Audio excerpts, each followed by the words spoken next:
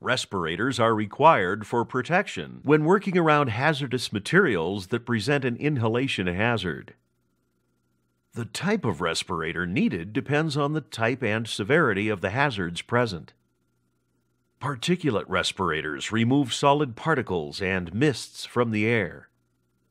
Gas masks are used for protection from some gases and vapors, depending on the concentration.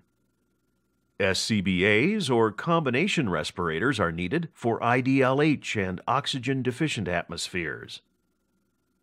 Respirators must be properly maintained so they work properly and provide the expected level of protection.